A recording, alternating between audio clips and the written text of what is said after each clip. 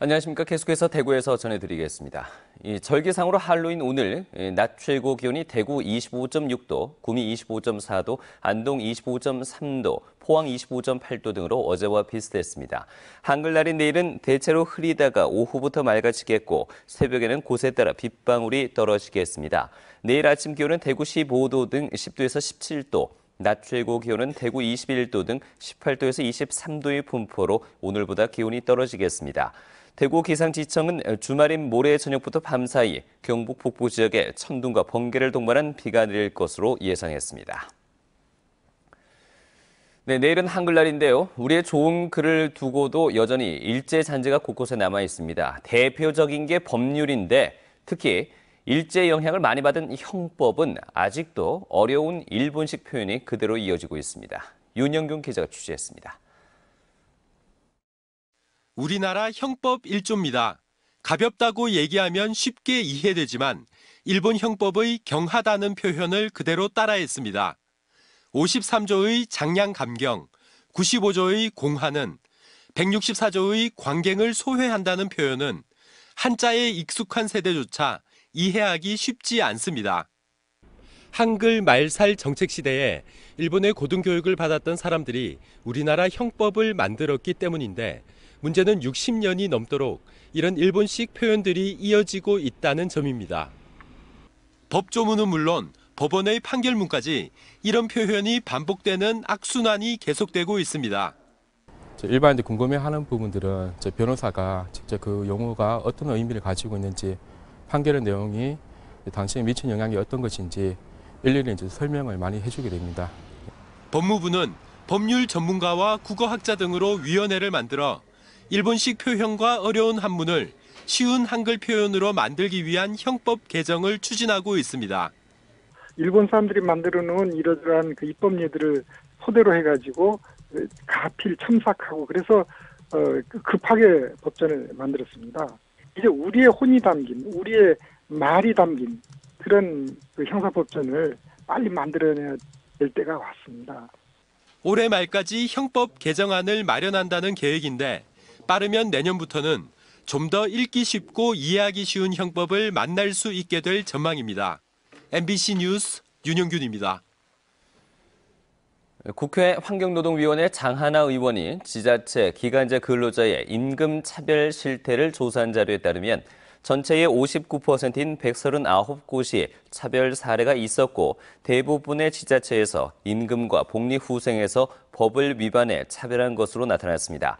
장 의원은 노동부가 이런 실태를 전혀 파악하지 못하고 있다면서 노동관계의 기초 질서인 차별도 해결하지 못하는 노동부가 노동개혁을 이야기할 자격이 있는지 의문이라고 지적했습니다.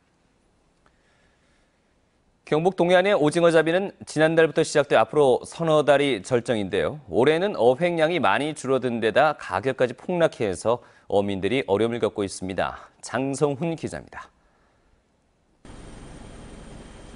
동해안 최대 어항으로 오징어 잡이가 제철을 맞은 포항 구룡포항. 그러나 예년 이맘때와 달리 활기라고는 찾아보기 힘듭니다. 최근 한 달 이상 어획량이 지난해의 절반 아래로 곤두박질 쳤기 때문입니다. 올 들어 9개월여간의 위판액 역시 지난해에 비해 12%나 감소했습니다. 15개 내지 한 20개가 잡아야 요즘은 뭐 보통 한 7, 8개 잡으니까 그건 뭐 한, 한 번에 1 정도, 한 번에 1 정도밖에 못 잡는 되겠죠. 특히 올해는 어획량 감소에도 불구하고 오징어 가격까지 크게 떨어져 어민들은 이중고를 겪고 있습니다. 전체 어획량의 80% 이상을 차지하는 빙장 오징어의 가격은 지난해에 비해 30% 이상 떨어졌습니다.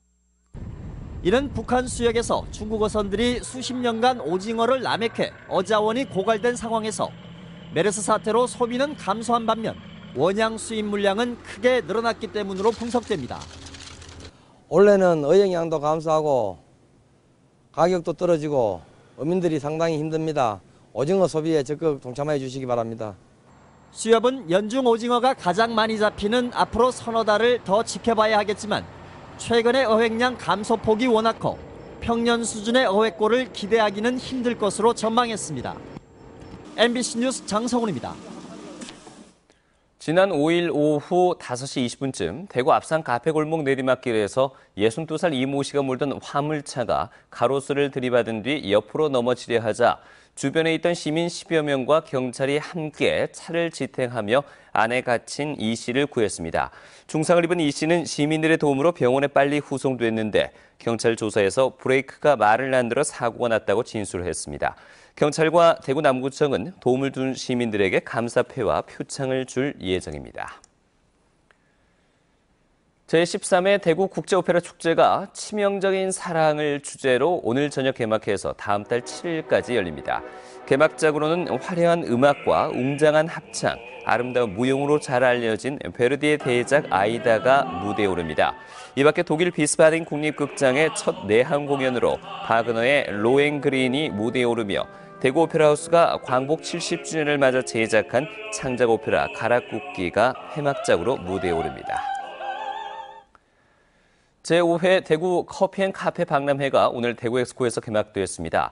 이 나흘간 계속될 이번 박람회에는 커피 관련 110개 업체가 비즈니스 산업관과 우수 커피 브랜드 산업관, 국내외 커피 시음관 등의 300여 개 부스를 마련해 다양한 제품을 전시하고 있습니다. 지금까지 대구에서 전해드렸습니다. 고맙습니다.